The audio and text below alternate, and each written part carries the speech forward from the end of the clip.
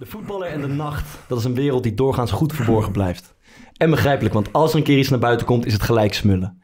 En zo kennen we de foto's uit een nachtclub in Rio de Janeiro, waar de spelers van Oranje, met een bako in de ene hand en een Braziliaanse in de ander, de beste derde helft uit hun leven speelden. Een derde helft, is het eigenlijk gangbaar in het profvoetbal? En hoe ziet dat eruit?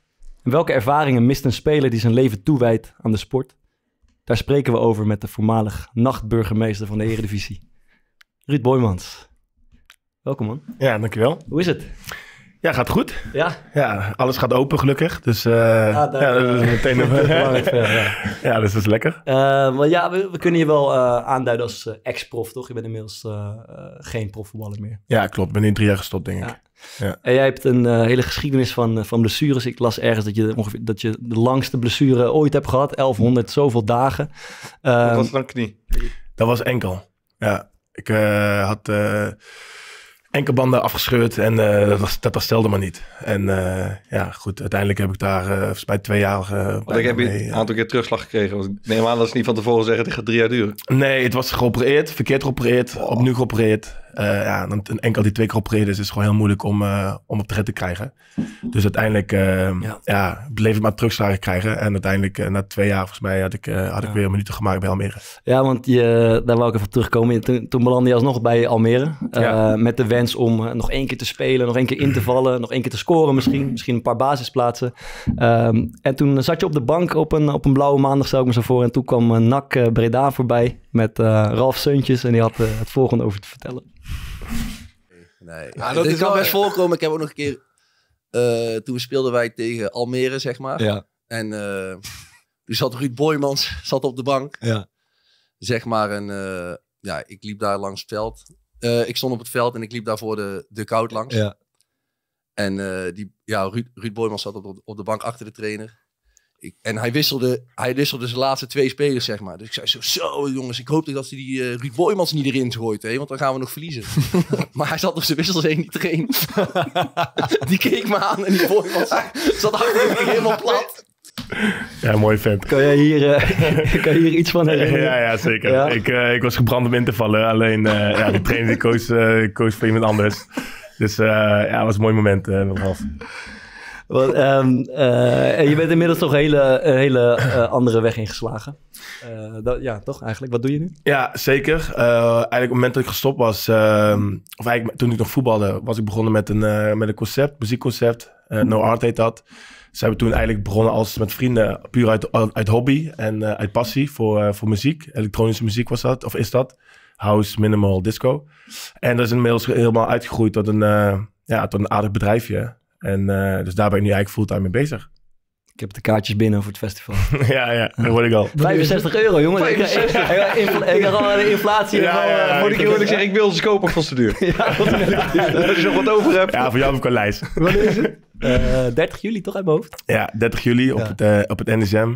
Uh, voor uh, ja, 10.000 bezoekers ongeveer. Ja, het is het eerste festival, dus het is spannend. Ja, mooi. Uh, klopt het dat ik heb ooit een keer gehoord dat jij uh, al toen je bij Willem II speelde al een soort uh, avond organiseerde of een, of een feest organiseerde voor de hele selectie? Is, daar staat me iets van bij, klopt dat?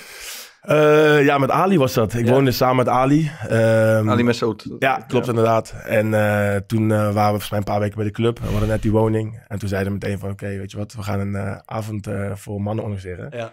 En wij kregen de vrouwen, want Ali en ik waren de, waren de vrijgezellen. Dus uh, wij uh, alle vrouwen appen en, uh, en bellen. en uh, zo hadden we 30 vrouwen hadden we oh, Zo'n teamgenoot heb ik nooit gehad, man. ja, dus, dus die mannen moesten natuurlijk, de spelers moesten natuurlijk zonder vrouwen komen. Een paar, een paar jongboys die hadden, het, die hadden het niet begrepen. Dus ja. die kwamen met de vriendinnen aan. Ah, ja, die, meteen naar, die meteen naar huis gestuurd. maar dat was bij jullie wonen samen. Jij en Ali wonen in een appartement ergens of zo in Tilburg, ja, denk ik. in Tilburg, ja. ja. En ja, ik heb dat appartement meerdere malen in mijn carrière voorbij uh, horen komen. Ja. spelers die op dat moment bij Willem II speelden. Ja, zeker. Ja, dat was echt een ranzig appartement. Berucht, berucht, berucht appartementje was Het dat. bordeel van Tilburg. Ja, ja, ja, dat was toen het wel een, uh, een bordeeltje. Ja, nee, het was, uh, die avond was echt gruwelijk. Ja. Uh, we, hadden, we hadden ook net nieuwe vloerbedekking gelegd. Het was net uh, twee weken oud, dat appartement. En uh, nou, iedereen zuipen. En uh, ja, sigaretje hier op de grond. Ja. drinken, spelers kotsen. Dus die hele vloerbedekking was het hele jaar was echt een ramp. Maar dat, wa- eh, was dat de ere van iets? Of was het gewoon een, teambuilding? Of hoe, eh, Ja, nee, precies wat je zegt. Teambuilding. Eh. Ik denk dat ook uiteindelijk dat de basis was voor, eh, voor het succes. Ja. Ehm, eh, waar, we werden meteen een team. Je leert spelers anders kennen. En eh, je leert elkaar beter kennen, denk ik. Op een, je kan ook dan, denk ik, eh, elkaar meer de waarheid vertellen als je, als je beter bent- Mhm. bent met elkaar.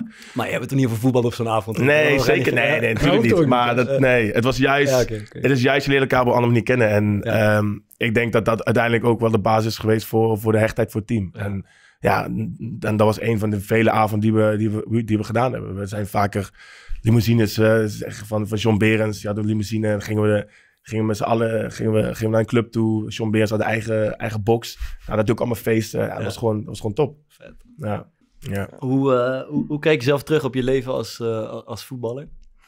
Je bent twee, je bent Ehm, 32 toch? Zei je? Ja. ja, Ja. ik ben eh 32. ja. Ehm, ja, hoe kijk ik terug? Ik eh, ben heel blij en trots eh, wat ik gepasseerd heb. Als je dat eh, had, eh, ja, als kind eh, had, had, ja, zo, zo was uitgekomen, dan had ik er meteen voor getekend. Ja. En ehm, ja, goed, alleen ik zal wel eh eh, waarom ik hier zit natuurlijk. ik weet waar het, het onderwerp waar het over gaat. We hebben je niet als voetballer, als, Nee, als nachtburgemeester jij. ja, dus ik, eh, ik, ik begrijp, Ja. begrijp wat je vraagt. Maar ja, ik, ehm, ja, ik kan wel een klein, klein inkijk geven hoe ik dat beleefd heb. Ik, eigenlijk toen ik uh, na Willem ge, gevoetbald had, had ik voor vier jaar getekend bij Utrecht. En, ehm, en dat jaar, eh, die zomervakantie ging ik naar Ibiza voor de eerste keer.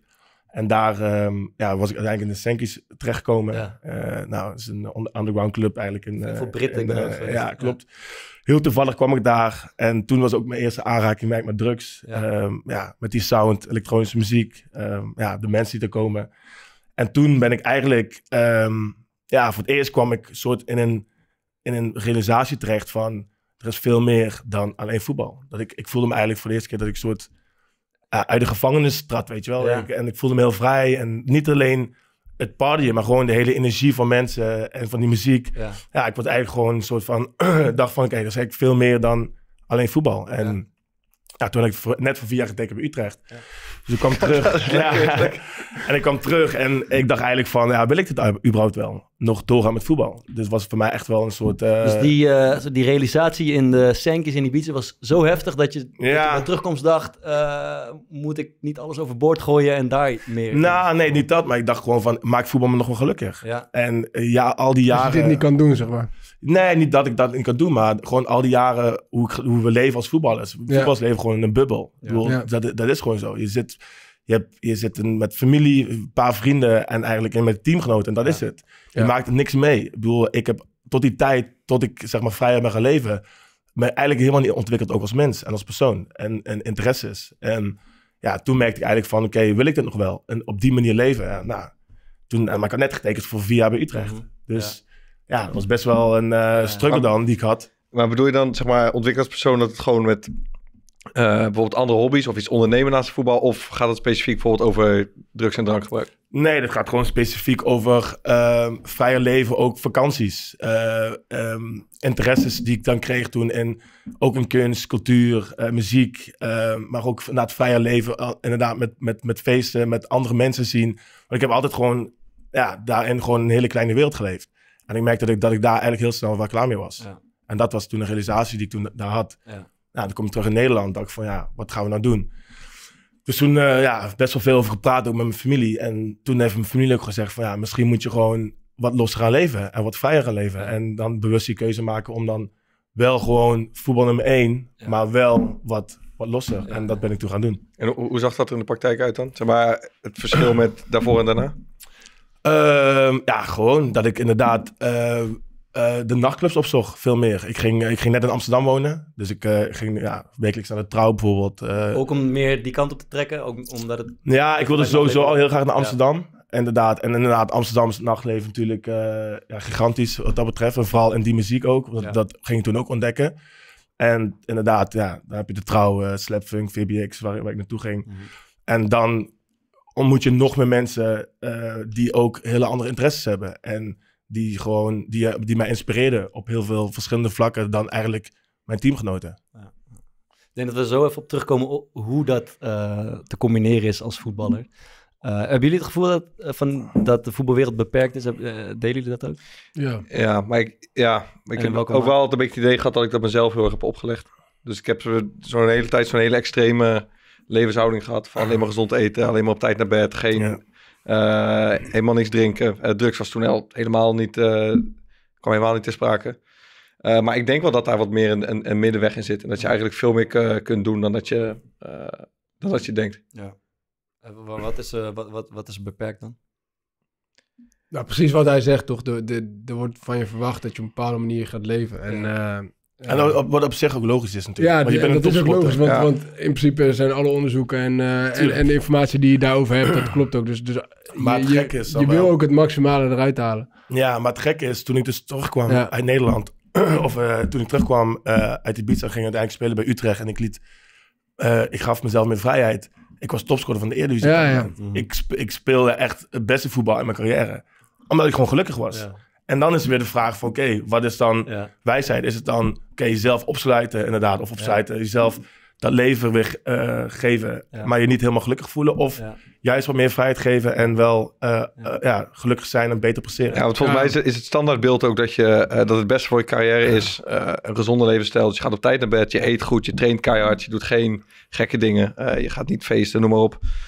en dan kan je fysiek wel, zeg maar, ik denk in de beste modus zijn. Maar misschien is dat mentaal, kan het wel anders zijn. Dat je juist heel erg gebaat bent bij af en toe even de tegels laten vieren. maar dat is, ja, dat is niet iets heel tastbaars of zo. Nee. Dus ik denk dat mensen over het algemeen dan al heel snel het idee hebben van... wat de fuck, hij is carrière aan het vergooien of hij is er niet mee bezig. Ja, ja klopt. Maar ja, je valt een beetje terug op dat waar je invloed op kan hebben. En uh, die geestelijke gezondheid, dat, dat, dat, ja, dat is toch wat moeilijker te vangen, denk ik. Maar ik kan, ja, wat, wat jij zegt over zeg maar, je wereld verbreden. Ik bedoel, als voetballer kan dat ook wel. Want ik heb als voetballer ook echt wel veel dingen gedaan uh, uh, erbuiten. En, maar inderdaad, toen ik niet voetbalde, dus toen ik geen profvoetballer was, uh, dan word je eigenlijk soort van gedwongen om, om constant te, te connecten met mensen en, uh, uh, en een beetje uit je, uit je comfortzone te stappen, zeg maar. Ja. dus dus ik, ik, ik, herken dat wel. Ja. Doelde je niet ook voor een ander deel op gewoon de gesprekken die je in de kleedkamer voert? als je bijvoorbeeld, je, wat je vertelt, je ontwikkelt een interesse in, in, in kunst en cultuur. En was dat dus misschien niet per se iets wat je uit de kleedkamer weet? Te halen. Ja, jij schildert toch ook, je speelt gitaar? Ja, ik, ik schilder uh, verdienstelijk, ja. Hij kan echt goed schilderen. ja, ja, ja, oh, maar wij hebben nooit zo... Ja, wij, ja, anders was je nog even doorgaan. maar uh, is, klopt dat wat ik zeg? Doe je dat ook? Ja, dat klopt. Ik voelde me op een gegeven moment ook wel een soort van... Uh, naarmate ik me steeds verder daarin ontwikkelde... Dat ik, dan voel je het soort, toch een soort van jongen die een beetje apart is of zo, weet je? En... En daar toen ging ook met, met, met kleding, ging ik anders kleden. Ik ging me uh, ja, verdiepen meer aan andere muziek. En als we dan, uh, weet ik veel, uh, de box, iemand beheert de box, weet je wel, dan gingen we soms aansluiten. En dan nou, draaide ik gewoon house, minimal of, of techno. Ja, De jongens dachten van, wat de fuck is dit, snap je? Dus uh, ja, inderdaad wat je zegt de voetballers hebben vaak dezelfde interesses. Al, en uh, terugkerend iets, we hebben het een aantal keer besproken, is uh, als iemand in een nieuwe oudje in de kleedkamer komt. Uh, hij gaat niet naar huis. Hoor. Ja, ja, ja, ja, ga je doen? Hoeveel... zaken, zaken gaan goed. Zaken gaan ja, goed. Zaken ja. goed. Ja, ja. jij je ziet er flamboyant uit. Dat moet vaak tegen jou gezegd zijn, toch? Zulke dingen. ja, klopt. Maar op een gegeven moment was het wel gewend. Dus, ja, jij was ook best geklede voetballer, toch? Ja, ja, klopt. Ja, nee, tweede geworden helaas. Ja, is schandalig. Dat blijft op de night iedereen, jongens. Hebben jullie ook gelijk? Ze hebben bij ons hebben ze het goed gemaakt. Wie, wie, ja, wacht even. We hebben het over. Oh, van live, live of voetbal. voetbal. Ja. Ja. ja, klopt. Oh ja, wat Thomas die, die refereerde eh, een paar weken geleden, of ik was het eigenlijk, ja. aan, uh, aan, aan Regie Blinken. Dat hij ons uh, belazerd heeft omdat wij een keer een quizje hebben gewonnen, Thomas en ik op Clubhouse. En dat we, uh, wat kregen we een weekendje Droompark of Roompark of ja, ja. En dat we die nooit hebben gekregen. maar we moeten het even recht, rectificeren, want dat, deze, die podcast is bij de mannen van Live After Voetbal terechtgekomen. en er is ons nu alsnog een weekendje. Je lekker met Madelon en de kinderen. ja, weekendje Droompark erbij. is een perfecte bak. dus uh, dat is even rechts. Thomas en Regie Blinken zijn weer uh, bevriend met elkaar. Tenminste, ik hoop, ik hoop dat, hij, uh, dat hij ook weer vrienden met mij is. Maar ik ben in ieder geval weer... het is er goed, het is er goed. Maar wie heeft verslagen? Maar ja, Ruud dus nog niet, want jij verloor van Elia, denk ik. Of ja, Elia, klopt. Ja, ja, heb was wel terecht nummer 1 nog. Kreeg je nog feedback ook dan? Van waar nee, nee, dat is, zo, zo intens is het ook allemaal niet. Maar het is meer gewoon een gezellige avond. Thomas, dat is toch een beetje, refereerde vaak, het is een beetje jouw doemscenario scenario om de, of, of juist een droom om daar ooit op dat live af de voetbal event te Ik zijn. zou het zo mooi Nee, vinden nee, als al jij een keer al dat die high fashion guys. Toevallig, toevallig bij die eh, editie eh, was ik. Oh, Je was daar. Eh, ja, oké. vriend- Wat had je aan vriendin Wat had je aan? van- Nee, ja. Dan moet je gek komen, Toon. Nee, nee, ja, ik had niet zoveel. Maar mijn vriendin van Marlon, die werkte toen voor Live Heeft Voetbal. Dus, dus, die, eh, dus die nam mij toen eh, na veel overhalen wel. Want ik was niet heel erg happig om heen te Nee, ja. Maar het was, het was wel een gezellige, zeker Ja. een gezellige avond. Ja. Eh, maar wat, wat wilde ik nou zeggen? Joh? Shit, ik weet het even niet meer.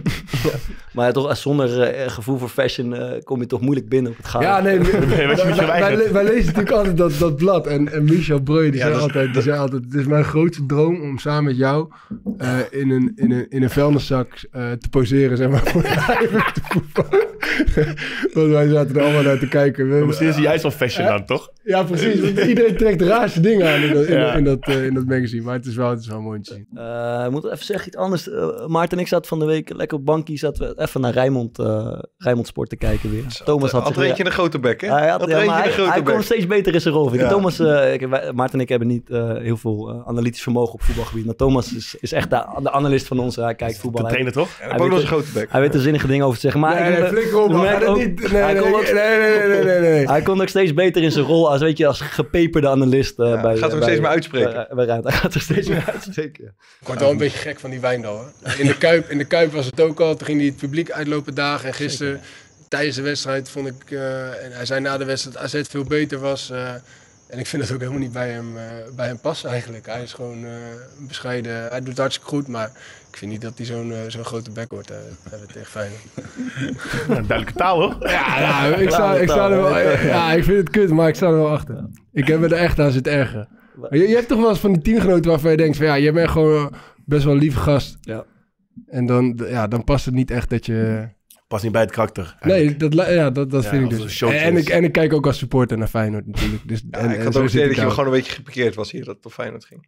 Al- Als ik Feyenoord kijk en er gebeurt zoiets, dan kan ik inderdaad echt gepikeerd Ja, raken. dan zit je wel goed vaak hebben we het ook wel eens met, eh, met Michel Breuer over. Wij kijken regelmatig naar Rijnmond als jij er zit. En eh, ja, je, op een of andere manier moet je je ergens onderscheiden als eh, analist. En dan moet je af en toe gewoon iets, iets, iets zeggen wat, wat uit, de bocht, uit Ja. de bocht vliegt. En dan Ja, word je ja. gezien. En dan kan je op een gegeven moment gewoon bij, eh Dit echt bij ESPN dit, dit, dit, dit was niet voorbedacht. En, eh, ja, ik zag het ook terug. eh, het werd ook een beetje geklikbeet. Toen dacht ik van ja, dat is eigenlijk, eigenlijk wil ik dat echt. Het is precies eigenlijk de reden waarom dat ik daar ben gaan zitten. Is dat ik dit niet ging doen. En nu doe ik het toch. toch. Ja, En wij doen er altijd even schepje bovenop natuurlijk. Ja, bedankt jongens. Alright, ehm, dan eh, de derde helft. Is, een soort van, is een begrip, eh, vooral onder amateurvoetballers. Maar we, misschien moeten we even een keer schetsen hoe dat is onder profvoetballers, de derde helft. Ik denk iets minder spannend over het algemeen. Een wat beetje gebeurt- zagrijnig, omdat je net niet gespeeld hebt. Ja, dat is het voor mij een jaar of zes geweest. wat, eh, wat, ge- wat gebeurde? Hoe laten we gelijk na de wedstrijd beginnen, mensen? Je komt in de kleedkamer, de, de trainer doet een praatje na de wedstrijd. Eh, douchen, je hebt allemaal zo'n eh, clubkostuum aan, Ja. dat is verplicht. En dan, wat gaan we doen? Eerst eten, eigenlijk. Eten, ja. toch? Pizza's bij ons, ja. Hele slechte Pannenkoeken, ja. Ja, Hele ja. pannenkoeken. Zijn wel beter geworden. Heel goed. Ja, van die rauwe pizzabodems waren het laatste jaar dat ik was. En dan is er drank, is er, eh, drank in de kleedkamer? Ja, hangt van de trainer af, man. Ik Ja. heb trainers Ja. gehad die het echt niet accepteerden. ja. Maar ook trainers gehad die, het, die een biertje gewoon goed vonden. Ja. Ja. Maar ook van de spelers hoor. Want ik heb ook jongens gehad die dat helemaal niet hadden. Anderen die trokken of een trainer het nou wilde of niet. Die hadden gewoon een paar wodkaflessen in hun kluisje staan. Ja. Ja, dan- resultaat speelde ook wel mee. Ja, Ja. bij, Ja. ons, als we hebben gewonnen, is er. Ja, kan je alles eigenlijk toch? Maar dan heeft ook iedereen er zin in, of Ja. een deel van de spelers. Als ze hebben verloren, dan is er niemand, vrijwel niemand die wat drinkt eigenlijk. Nee. Ja, en als je verloren hebt, is het vaak een beetje een zagrijnige stille Ja. boel. Ja. En dan wordt er ook volgens mij, dat gevoel dat ik altijd een beetje van je verwacht dat je, Ja. dat je boos bent.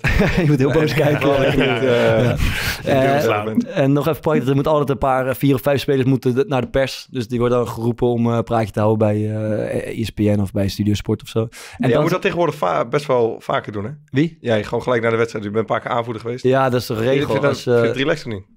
Eh, nee, niet zo. Ja, we, we verliezen heel veel de laatste Ja. tijd. En dan is, het, dan is er... Ja, dan, is- dan worden je verhalen Ik, zat constant er ook, hetzelfde. ik weet dat jullie na de, na de winterstop verloren. Maar toen hadden jullie serieus best wel goed gespeeld. Ja.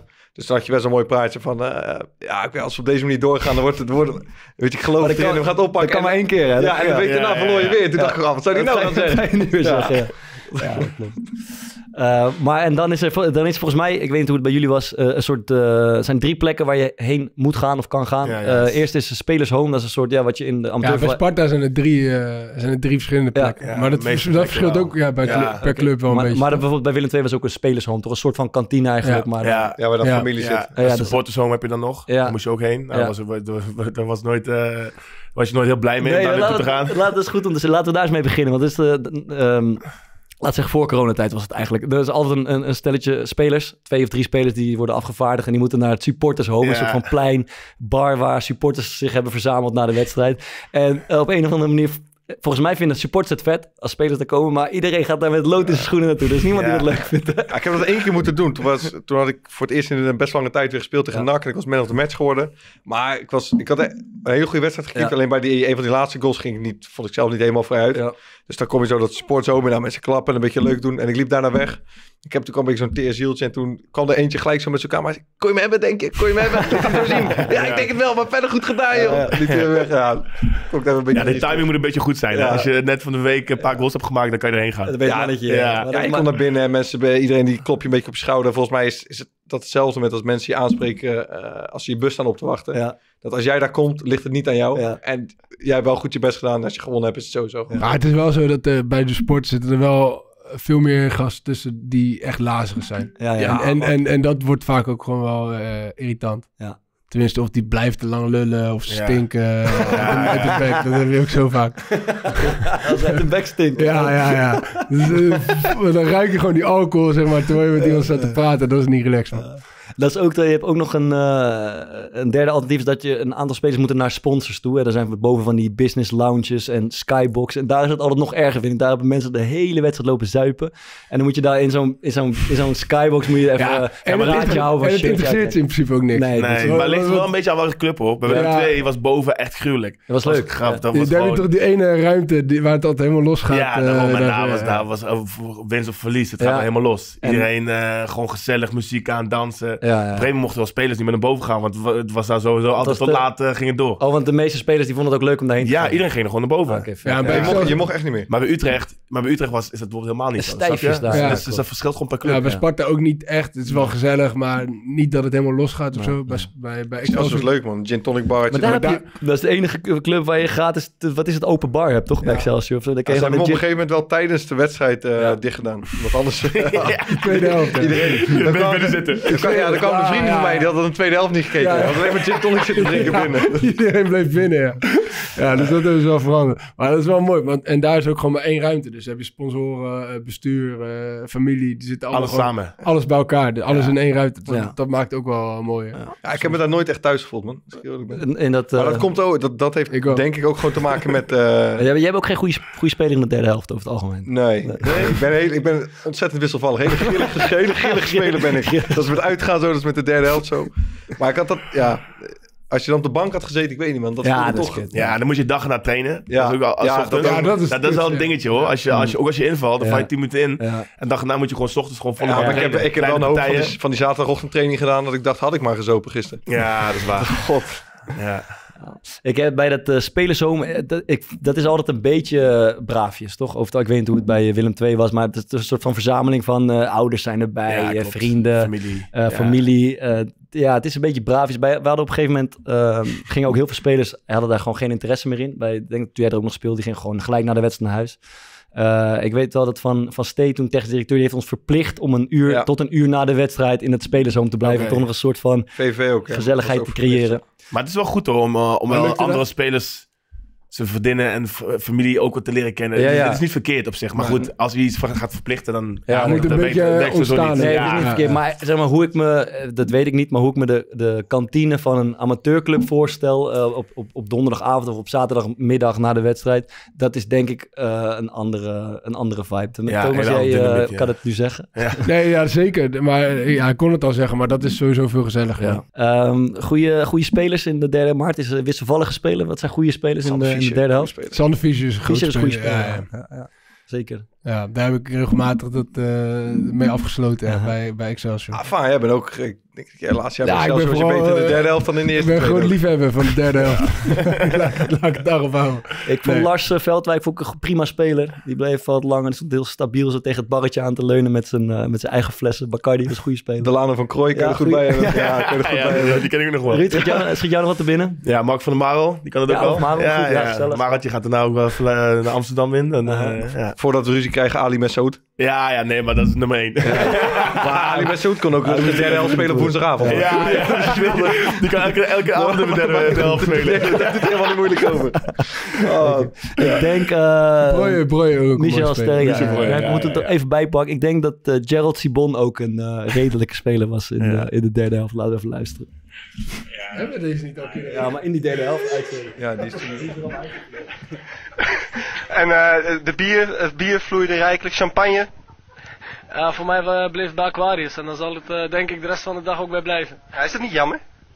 Nee, ik, eh, ik heb genoeg lol zonder alcohol. Dus, eh. Genoeg lol om Simon- Sibon ook, of niet? Maar ja, hij is ook in normale toestand is die gek. Prettig gestoord zou ik zeggen. Hoor- Behoort Sibon tot de meest prettig gestoorde spelers van PSV? Ja, zeker weten. Hij is... eh, Moet ik weg? Nee, nee. Ik, eh, ik ben ook aan de Aquarius, eh, dus er is verder niks aan de hand. eh. wij, wij drinken evenveel Aquarius. Ja, kijk maar achter nee, hij is een eh, echt een goede gozer, serieus. ja, maar ja, wat ook nog wat aan mij gevraagd. Ik sta met... Ja, ja maar je staat er zo, je staat fantastisch te tonnen, moet ik zeggen. Wat, nee, maar ik, ik, ik dacht dat je een vraag over Ibrahim Avalai had voor mij. Oh, Oké, nou. Nou, dan ga ik dus... nee, nee, nee, blijf erbij. Ibrahim Afellay. Dit seizoen eh, redelijk doorgebroken. Nou, dat vind ik een understatement. Ik eh, denk dat Ibrahim Avalai zich eh, duidelijk heeft gemanifesteerd als, als een, als een eh elftalspeler, als, als een... Die is lekker, hè?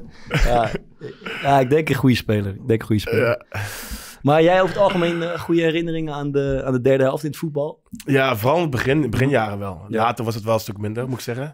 Ja, maar wat jij net zei, het, het wordt denk ik ook minder. Want, Ja. want je ziet gewoon veel meer jongens die, eh, die daar niet zoveel waarde aan hechten. Maar dit wer- merkte ook wel, eh, als je een club had waar heel veel jongens in de stad woonden, Ja. was het al heel vaak Ja, wel helpt, zo. ja. Maar bijvoorbeeld Utrecht, iedereen, het ligt redelijk centraal. Dus iedereen woont gewoon in zijn eigen dorp of Ja. stad. En dan- Waardoor het niet zo, niet zo eh, juist, samenging. Juist. Ah. Maar als je clubs had waar iedereen in dezelfde stad woonde, was Ja. het wel altijd een stuk beter. Ja, dat, zou Ja. goed. dat heb Ja. je misschien in Venlo ook wel gehad. Daarom dat iedereen moet daar een beetje Ja, gaan ja, wonen. klopt. Zeg maar. Ja. Klopt. Maar wij hebben ook wel zo'n tijd gehad bij Sparta. Dat iedereen eh, een beetje in het centrum daar woonde. Zaten, ja, we- ja. zaten iedere dag eh bakjes koffie daar zo te Ja, drinken. is- Ja, je moet gewoon een groepje hebben, man. Ja, Ja, man. we hadden dat in Deventer ook. En in Venlo was dat hetzelfde. Juist. Dat je al van een drie of vier gasten weet sowieso, of eh dus vijf, dat je, die blijven na de wedstrijd hangen. Ja. En dan zijn er altijd wel eens een, dan blijft die nog een keer, dan blijft die nog een keer. En dan heb je eigenlijk al genoeg.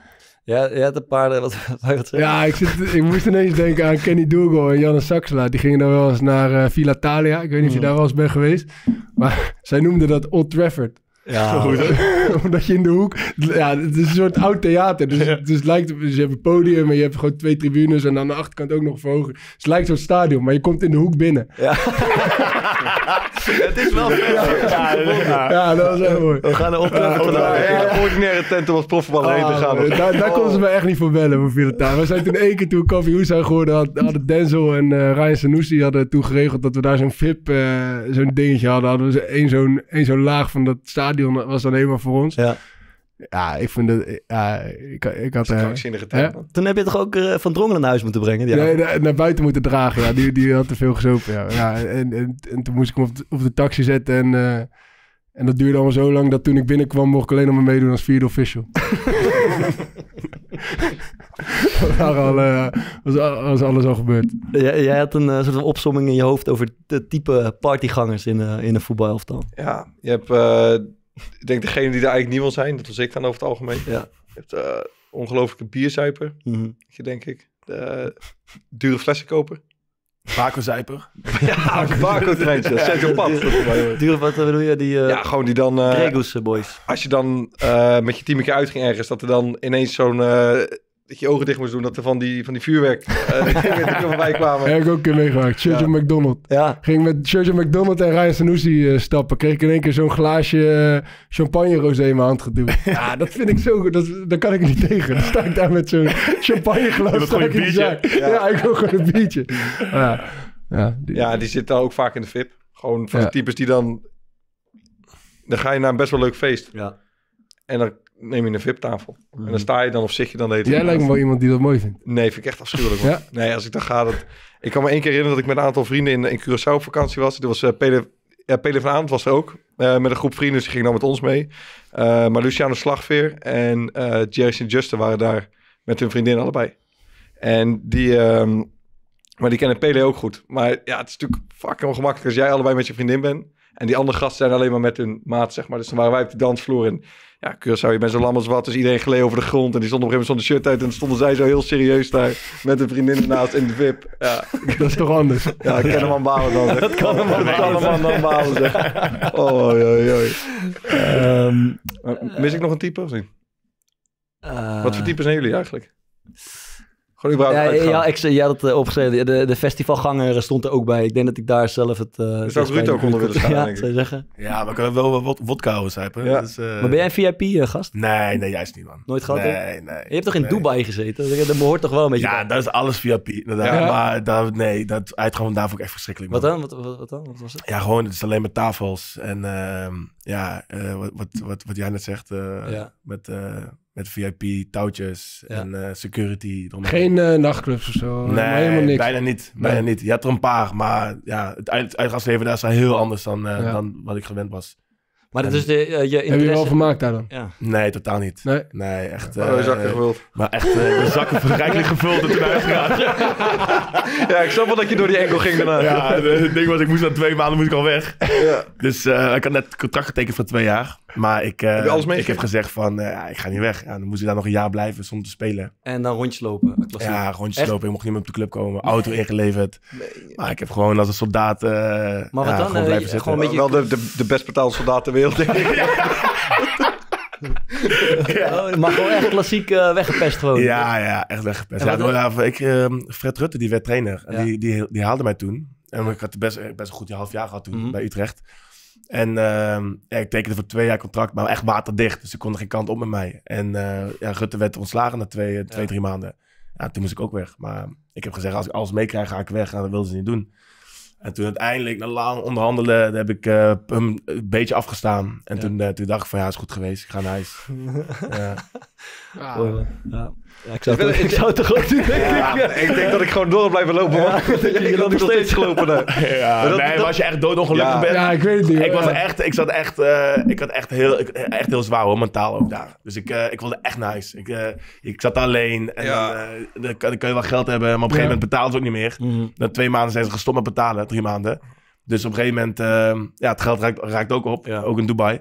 Dus eh, op een gegeven moment moet je wel gewoon een keer akkoord geven. Eh, even terug naar de, de drank. Eh, Robbie Alfle, die was mijn trainer. En toen hadden we weer een paar keer op rij verloren. En toen zei Die hij... Alf of Alfelen? Alflen, dacht ik. Ja, toch? Ja. En toen zei hij heel eerlijk, weet je wat jullie moeten gaan doen, gasten? Eens even goed gaan zuipen met elkaar. Ja. om, het, om, het, eh, om het hoofdje leeg te maken. En, Ja, ik dat vond was- het wel tof wat, dat hij, als hij dat zei. vond Ja, ja, precies. Maar hij is trainer die dat kan waarderen. Ik, Ja. ik had, voor Beek had ik eh, bij AZ. En toen hadden we kwartfinale Tje- Europa League. En toen hadden we 2-1 gewonnen thuis Ja. van Valencia. En eh, weer- wereldprestatie. Ja. En toen moesten we uit en verloren met 4-0. Nou, kansloos. Na het Ja. weekend wel wel vrij.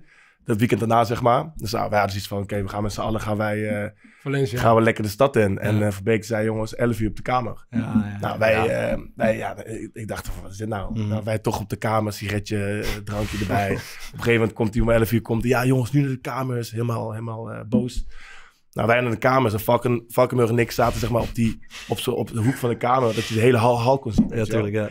Dus op een gegeven moment wij appen van jongens, we gaan de stad in. Ja, lekker. Dus, eh, ja.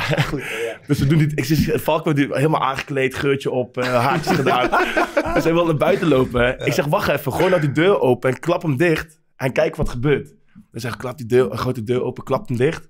En op een gegeven moment Van Beek komt meteen naar, naar buiten stormen op de, op de gang. Ging, die- ging, die, ging die kijken, zeg maar. eh, wie, wie, wie ging er weg? Heeft hij drie uur lang, heeft hij daar gestaan. eh, als een soldaat gewoon die gang eh, te bewaken. Ja. Ah, wat ziek zeg. Kijk, ja. Toen brandtrapje. Wat heb heb, heb ik foto's van gemaakt. Heb je die nog? Heb je nog of niet? Die heb ik nog. Ja, die wil ik heel graag. toen? En na drie uur ben je het wel... kijkgraadje foto's gemaakt. Ja, die foto's, die foto's zijn legendarisch. Ah, Echt. geweldig. Maar- Laten we zien dan. Ja, ja, ik laat ze zo wel. Maar- En na drie uur was het nog gegaan of ben je toch af- afgeschrokken? Maar Nee, wel- op een gegeven moment was, op een was het klaar. Laat maar gaan, Toen, eh, maar toen, eh, eh, kijk eens, had Een doekie. Dat kan toch niet? Eh,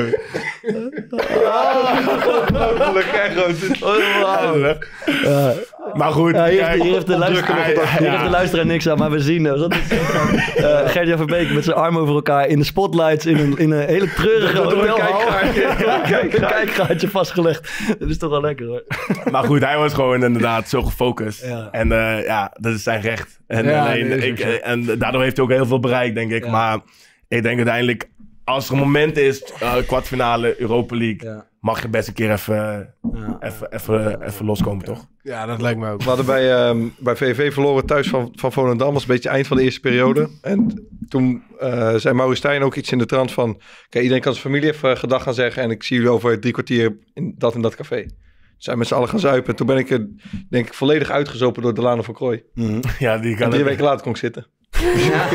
ik denk eigenlijk, als ik nu zo terugdenk... dat, Dat- dat wel hij vond Delano gewoon beter in de kroeg. ik denk dat dat, dat, dat dat de meest logische Ja. verklaring is. Maar dat werkt, dat werkt serieus wel. Want dan kom je de dag daarna... Ik, of ik weet niet wanneer we weer moesten trainen... maar dan is het...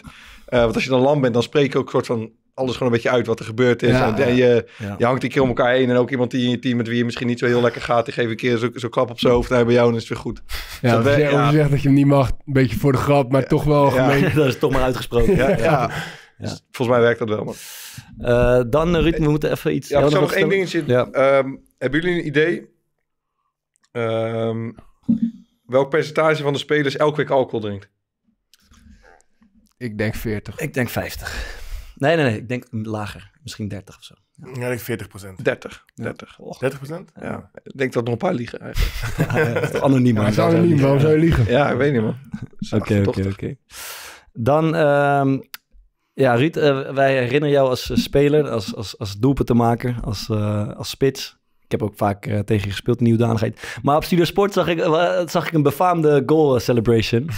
Ehm, en ik denk dat iedereen een beetje in het ongewisse hebt gelaten. Maar mensen die regelmatig eh, in het uitgaansleven verschijnen, die, die, die vermoeden eh, waar die celebration vandaan komt. Eh, ja, ik ja, kan hem uitleggen, maar misschien kan je zelf vertellen wat dat eh, voor iets was. Ja, ik weet niet of het handig is om uit te leggen. Ik zat vandaag bij Excelsior, had ik het erover, dat, dat we met jou, toen zei ik met wat Wiever middenveld, en zei, ja, ja, had dat zo'n, eh, hij deed altijd, als hij scoorde, deed hij, maar wat was dat eigenlijk? Ja. Wat was het voor iets raars? Ja, hij, hij, hij, likte, hij, hij stopte zijn ene vinger in, in, in zijn andere hand. In een soort zakje In of een zo. soort zakje of zo. En dan, en dan likte hij zo aan zijn, aan zijn wijsvinger. En dan ging hij heel vrolijk de camera aankijken. Eh, wat, eh, wat was dat zo Ja, dat is, dat, dat is te maken met Senkies, denk ik. Het Senkies, Senkies in Ibiza. ja. Oké. In Ibiza. Ja, ik zal hem zelf inkoppen, denk ik dan. Ik kwam, eh, Thomas, ik kwam jouw broertje tegen Felix vanmiddag. Hij zei, eh, wat ga je doen? Eh, ik zei, we hebben vanavond de podcast. Ruud Boymans komt langs. Oh, MDMA zei ik toen. Oké. Eh, Ja. We hebben toch even... hebben we toch Het even is het, eh, voor- eigenlijk duidelijk voor de mensen, hè? ja. Ja, wel legendarisch. Heel veel mensen die hebben gewoon geen idee gehad. Nee. tot op de dag vandaag Maar is geen het jou eens gevraagd het, eh, door iemand? Ja, nee, Ja, ze hebben dat toen toch na, na die Kijk, wedstrijd. weet je wat het is? Om, hem- om hem even te verduidelijken. Ik, eh, dat, dat, het was vooral onder vrienden. Ja, die zeiden Ja. van, Guut, dit moet je doen. Dus ik uh, ja, dat gedaan. Maar ik heb dan bijgeloof van, ja, als ik het nu niet meer doe, dan scoor ik niet meer. Ja. En mijn probleem was, ik scoorde negen wedstrijden achter elkaar. Dus Ja. ik, ik deed het elke keer. Mhm. En op een gegeven moment toen was het wel van, ja, wat is het nou? Ja. En op een gegeven moment had een eh, journalist die had mij gezien in, eh, in, in, in de trouw. Ja. En eh, die zei van, ja... Die- die- die zag je juichen in de die trouw. zei, nu snap ik, eh, nu Wie- snap ik wat je... Wie, wie was dat dan? Een journalist van, van Utrecht. Oké, van de Club AD. Ja, juist. Wie En, is eh, dat dan? Mag je zijn naam Ja, even zijn aard. Eh, ik ben even de naam kwijt. Voor, voor dat... Eh, hartstikke Echt? Die stond in de trouw? Dus, nee, Oh. ehm, hij had, volgens mij had hij het gehoord van iemand anders. Dat Oké. was, volgens mij was dat het verhaal. Oké, oké. oké. Want hij is inderdaad vrij, vrij oud, inderdaad. Ja, ja, hij is oud, ja. Oké. Maar dus toen, eh, toen had iemand me ja, daarover eh, Ja. gevraagd van ja, eh, ik, ik ga er iets over schrijven. Ik zeg ja, ik zeg, ben je nou serieus? Ik zeg, eh, Holy shit. zeg, als je iets over wil schrijven moet je het doen, maar ik, eh, ja, liever niet. Ja. En uiteindelijk, eh Niet ja, gedaan. uiteindelijk niet gedaan, nee. nee. Oké, Eh, ja, want... Ja, wat... Ja, dat, is wel, dat is wel relaxed. Ja. Ja, Ja, maar Ja, wat moet je schrijven dan? Kijk, ja, Ja, nou ja, hoezo? Als je, als als je een beetje sensatiejournalist bent en Ja. zegt Ruud Boymans eh, het, het mysterie ontrafelt. maar dat kan En helemaal Boymans. kan het Ja, wel ja, ontkennen? Ja, Ja, je er niet sterk. kunnen Ja. maken natuurlijk. ja. Ja, was nog gewoon een journalist. Dat op zich toch niet een heel gek, heel slecht verhaal op zich om mee te komen. Nou, ik, vind het wel heel, ik zou het heel matig vinden als hij dat had gedaan. Ja, Ja. ja. Ja, Je voelt je weer bedreigd. Nee, maar dat was, is- je, was ja. jij een, een, een fervent gebruiker tijdens je carrière?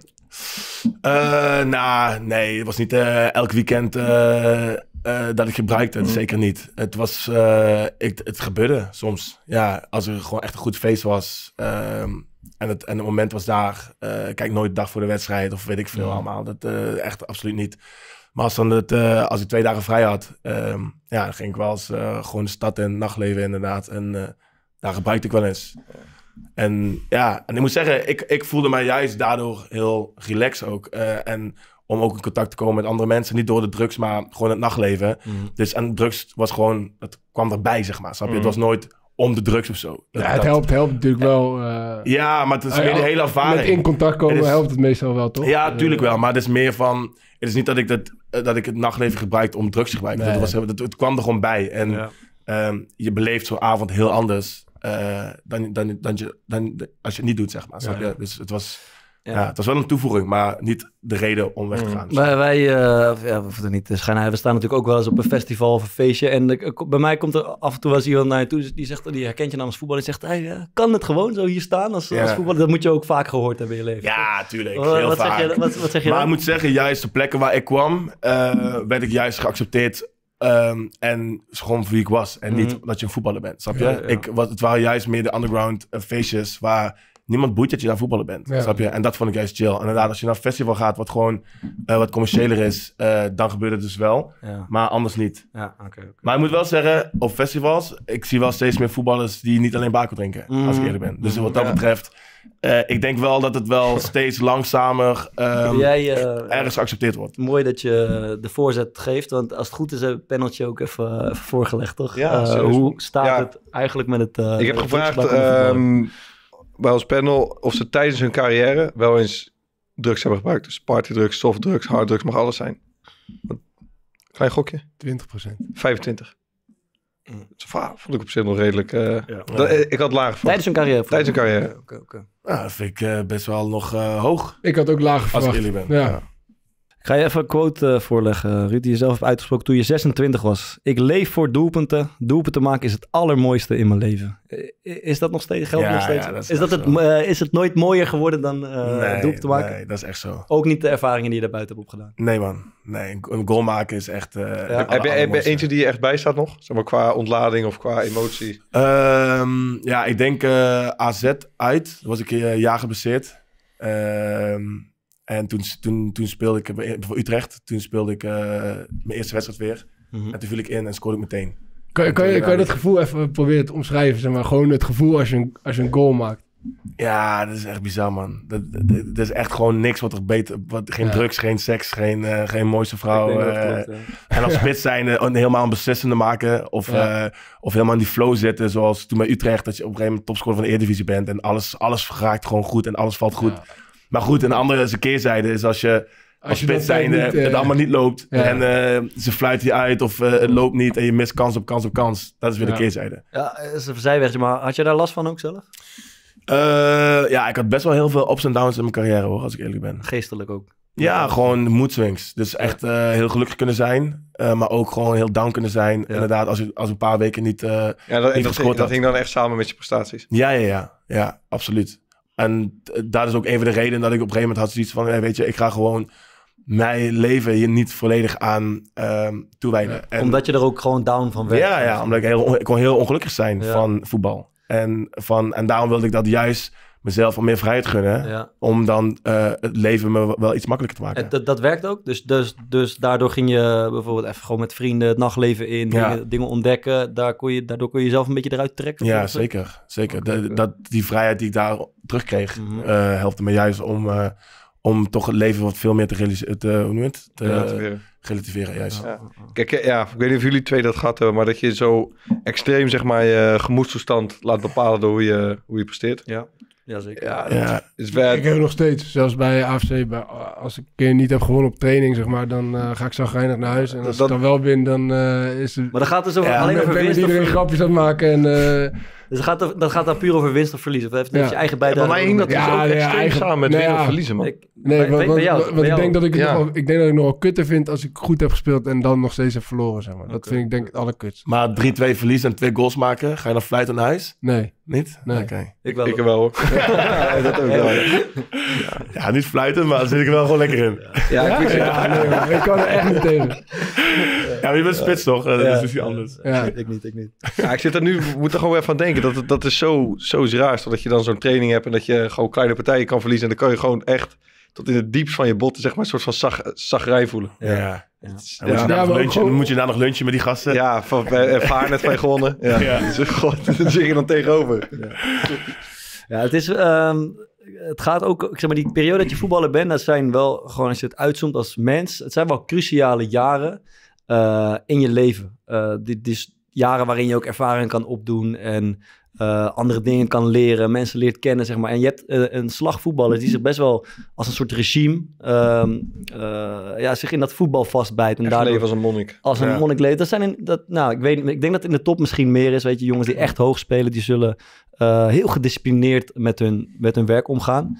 Ehm, maar ja, jij hebt dat een beetje gecombineerd en ik denk dat wij er eigenlijk allemaal een beetje onder vallen. Dan zou je kunnen zeggen, welke levenservaring ehm, mist de voetballer die zichzelf zo vastbijt in het regime?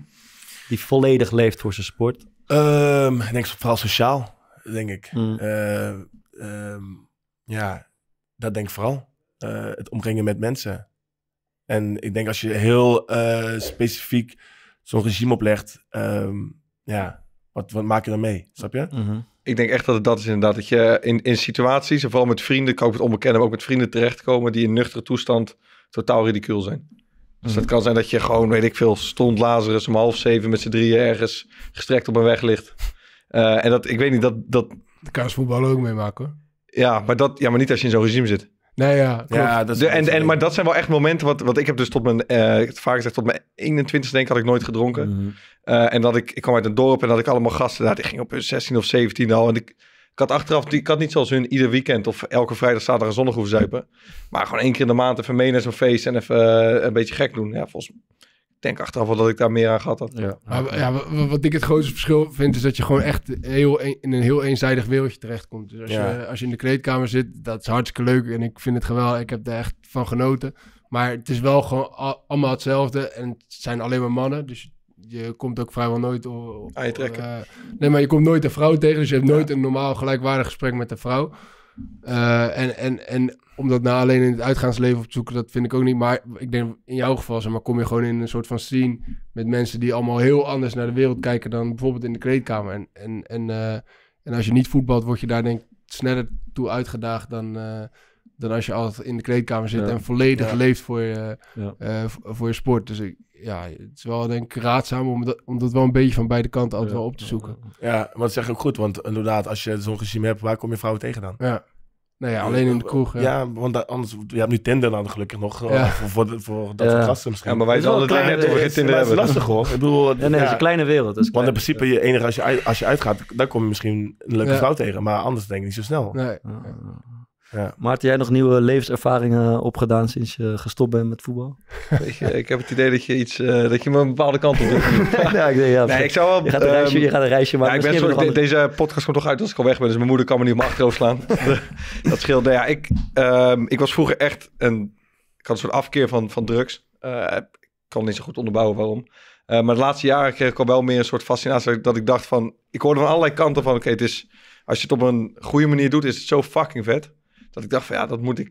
Dat zou ik ook, ook wel een keer willen proberen. Maar gewoon tijdens mijn carrière, ik, ik durfde dat niet. En het kwam er niet Hoe heb van. je dat gehoord? Maar heb je het nu een keer geprobeerd of nooit? Ik heb dat op een gegeven moment gedaan met een, eh, met, met, met een aantal vrienden. Vri- Ja, zijn het vrienden? Ja, op dat moment, op, op dat moment waren het Op dat moment mijn beste Maar vrienden. gewoon op een... ehm, volgens mij moet je er wel bij... Ja, zeg maar gewoon met mensen die er eh, op dat moment positief zeg maar, in het leven staan. Dus niet eh, mensen die een beetje op een afgrond zitten.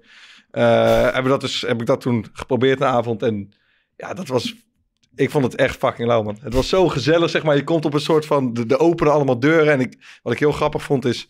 ehm, met alcohol wordt dat ook minder. Eh, maar normaal gesproken, als je een nieuw iemand leert kennen, dan is er altijd.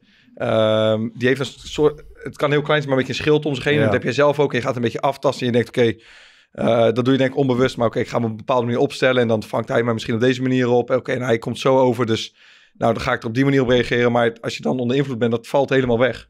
En dan blijkt ineens dat allemaal mensen waarvan je verwacht van, nou, dat zal wel niet zo goed matchen. Ja. Dat iedereen elkaar eigenlijk aardig vindt. Ja. Dat je allemaal hele rare connecties hebt, eh, Ja. dat heel gezellig is. Dus ja, ik wil niet zeggen dat het mijn aanrader van de week is, maar, maar het is ook niet mijn afrader. Komt er verdomd dichtbij. Ja, Zullen, zullen boze mensen tegenkomen op Twitter eh, voor deze Ja, dus ik wil zeggen, maar ja, zou, doe het alleen gewoon met een een keer met, met, met goede vrienden, met mensen die er ervaring mee hebben. En als je al een beetje positief in het leven staat, anders kan het volgens mij ook wel verkeerd gaan. Ja. Eh, maar ja, dat was, voor mij wel een, eh, een levenservaring waarvan ik dacht van nou, voeg wel wat toe. Blijkbaar er zijn dus 25% van de voetballers die dat eh, gewoon hebben gedaan of doen tijdens hun carrière. Maar er is nog nooit iemand eh, eigenlijk mee naar buiten gekomen, toch?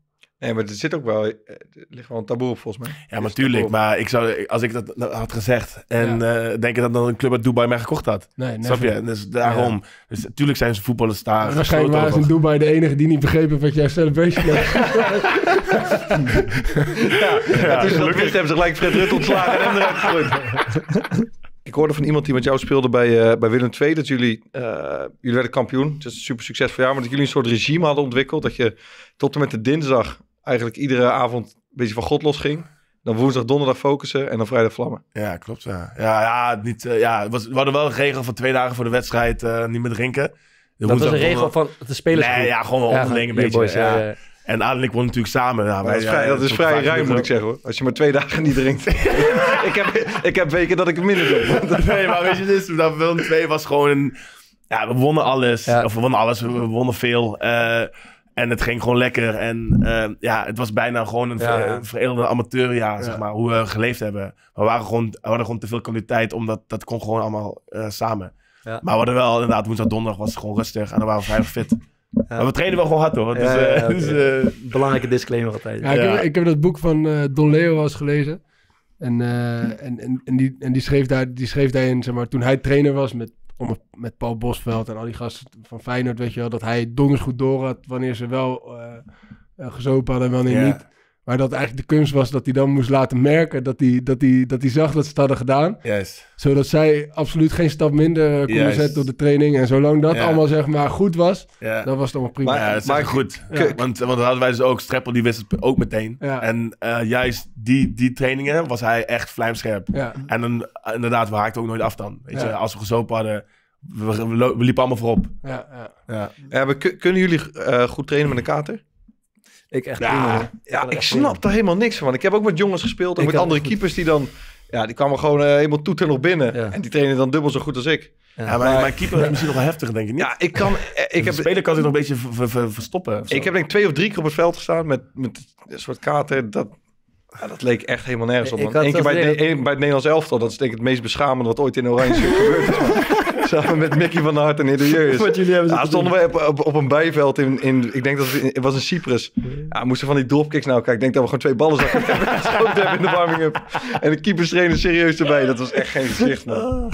Ja, we gaan, laten, we, laten we afsluiten en naar de, naar de aanraders van de week gaan.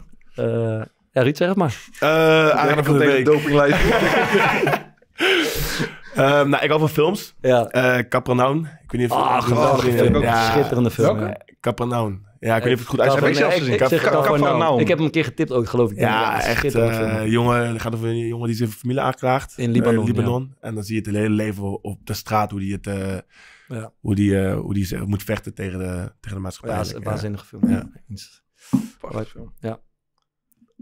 Ja, ik, Ja, vond ik. Nee, nee, ja, ik ga wel, ik ga wel. Ik, eh, ik wil de serie eh, Billions eh, aanraden. Ik weet niet of jullie die hebben gezien. Nee. Ja, er zit nu net een nieuw seizoen uit. En ja, het, het gaat een soort van een strijd tussen... Hoeveel afleveringen heb je je Hè? Hoeveel afleveringen heb je gezien? Het is nu het zesde seizoen en ik denk dat ik nu zeven afleveringen heb gezien. Dus ik heb iedere, ieder seizoen ook al gezien. Dat is Dus genoeg, dat is genoeg. genoeg Dat toch is om aan te raden? Jawel, jawel. Oké. Je hoeft ook, niet bang te zijn dat ik volgende week weer ga Ja, wat is de regel? Hè? Wat zullen, we, zullen we een regel instellen? Je moet toch wel minimaal vier afleveringen hebben gezien om een serie aan te raden. Ik vind dat we dat moeten instellen. En, en sowieso, als je een boek doet, moeten we wel zeker, zeker vijf hoofdstukken Ja, maar hebben. jij... Ja, oké. Moet die uit, ik vind, ja. Hij moet uit.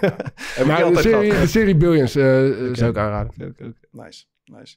Ik wil ook een serie aanraden, maar een hele oude. Thomas Geluk, heel gewoon. Staat op eh, YouTube eenmaal als echt mijn favoriete. Japio. Japio, vriendje stakvis. Ja, ik keek het vroeger altijd met mijn opa en dat zit nu op... Ken je het niet? Nee. Ja, dat is echt. Rotterdamse. eh, Mijn, mijn pa keek het altijd. Ja, en ik heb vandaag weer op YouTube eh, gewoon een aantal... Het is gewoon echt lekker als je even niks aan je hoofd wil hebben. En Ja. gewoon, ja, gewoon lekker om weg te kijken. En het, zijn, het is super plat Rotterdams. Het zijn van die afleveringen van 25 minuten. Ja, je moet er gewoon even eentje proberen. Hij was, hij was eh, de trainer van het sterrenteam hè, van Sander de Kramer. Ja, Ja, Sjoerd Plezier. v- vriendje Stokvis. Hij Ja. was, hij was als, eh, als vriendje Stokvis gekomen.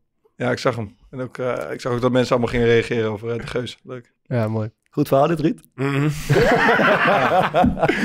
Eh, ja, mijn, eh, kijken, wat was, oh ja, mijn, eh, mijn scooter is ermee opgehouden voor het, na jaren van uh, trouwe dienst. Dat is je aanrader. Nee, ja, zeker. En ik, ik, ik heb echt hekel aan om met de auto door het centrum van Rotterdam of Amsterdam te rijden. Dus ik ben nu aangewezen op dat hele netwerk van elektrische deelscooters. En ja, dat bevalt eigenlijk heel goed.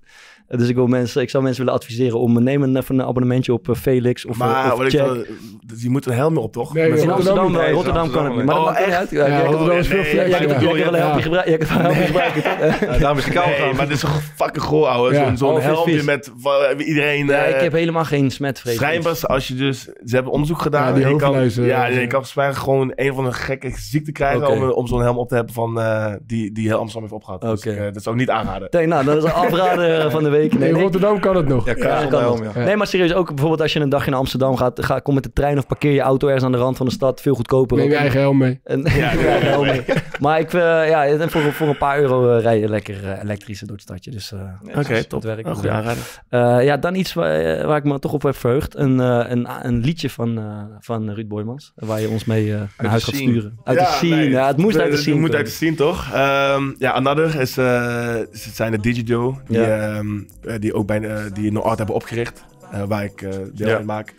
En die hebben ehm, een eigen vinylplaten, Ja. die, die hebben ze. En dan die releasen ze steeds. Ja. En eh, daar ga ik eentje delen voor jullie. Oké. Eh, Titel? Of dat, of, Kak in the Wheel. Oké, Ja. Dat is echt heel dik. Eh, je, je mag, je kan wel eventjes reclame maken voor de No Art, voor een, festival of een feest. Waarom moeten mensen naar No Art komen?